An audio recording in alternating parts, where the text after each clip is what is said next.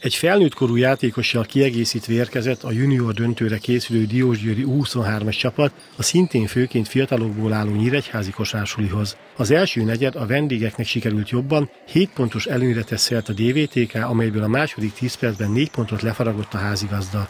A harmadik negyed végén átvette a vezetést az NKS, amelyet aztán már nem is adott ki a kezéből Farkasinszki Gyuláni együttese. Végül egy küzdelmes, kemény összecsapásokkal tarkított mérkőzésen 8 pontos győzelmet aratott a Nyíregyházi együttes a régi riválisnak számító Diósgyőr ellen.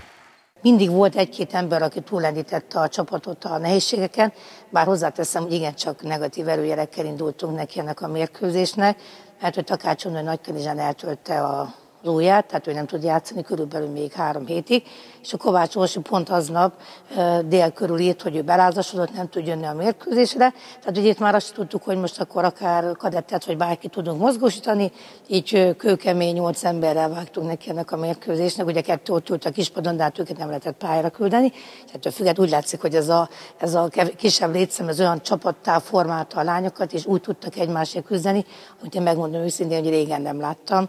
Tehát így olyan boldog voltam, mint már régen nem volt. Ehhez szerencsém, hogy ilyen, ilyen küzdelő tudó csapatot lássak a pályán, ilyen összeszedett, koncentrált játékot. Tehát ez olyan felemről érzés volt, hogy ezt öröm elmondani. Az amatőr NBA zöld csoportjának tabelláját a TFS-e második csapata vezeti 16 győzelemmel és két vereséggel, megelőzve az egyaránt 15-3-as mutatóval rendelkező Szexát 2 és Kanizsai vadmacskákat. A Nyíregyházi kosársuli 11 győzelemmel és 8 vereséggel a hetedik helyen várja a március 28-án esedékes Szombathely elleni hazai meccsét. Ezt a hetet próbáltuk egyébként úgy alakítani, hogy ezen a héten ne legyen mérkőzésünk. Ugye itt egy szolnok mérkőzés lett volna ezen a héten, de a junior miatt el kellett halasztanunk ezt a mérkőzést.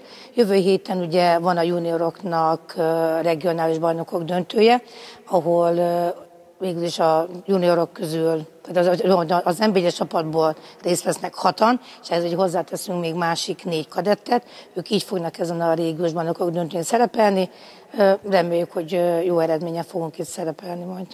A rendezésre a Baja mellett a Nyíregyházi kosársuli is pályázott. A két csapaton kívül a Monor és a Százhalombatta együttese vesz részt a tornán.